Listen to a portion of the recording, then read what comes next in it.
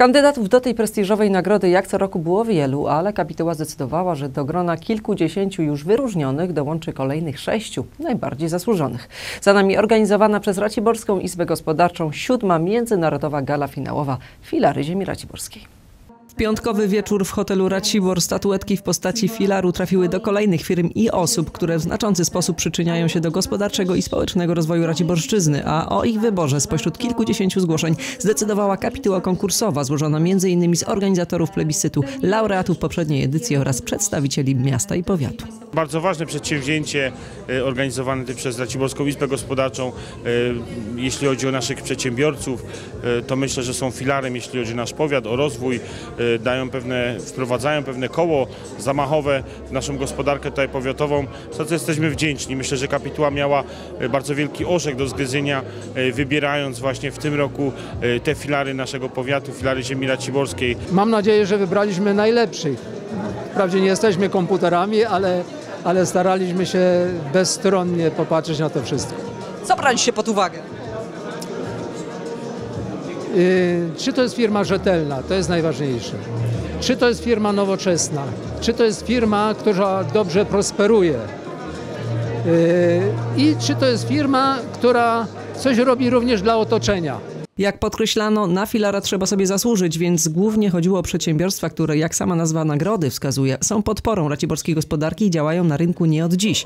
Na rozwijających się, choć w obiecującym tempie, przyjdzie jeszcze czas, zwłaszcza, że potencjał jest wielki, a biznesowy narybek może liczyć na wsparcie miasta.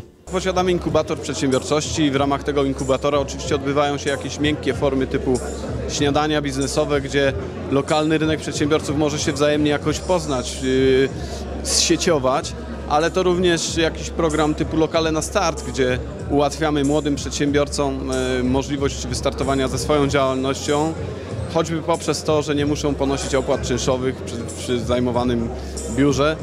Nie ukrywam, że moją osobistą ambicją jest doprowadzenie do tego, aby w Raciborzu powstały również takie hale produkcyjne na wynajem.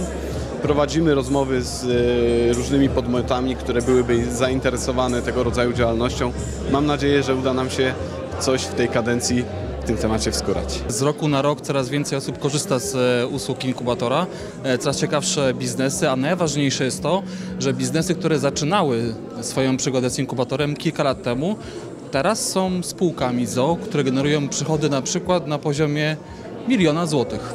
O tym mało się mówi, ale jest tutaj faktycznie już takich pierwszych parę perełek, e, które przeszły idealnie tą drogę od uczelni poprzez inkubator aż do działalności gospodarczej i spółki ZO.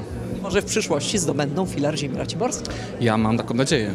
Odbierający filara laureaci, choć wzruszeni i pełni dumy, niejednokrotnie dziękując za wyróżnienie, wspominali także początki swojej działalności oraz trudności, z jakimi musieli się mierzyć w prowadzeniu swojej firmy. Ciężkie czasy dla przedsiębiorców są zawsze. One są bardziej lub mniej ciężkie.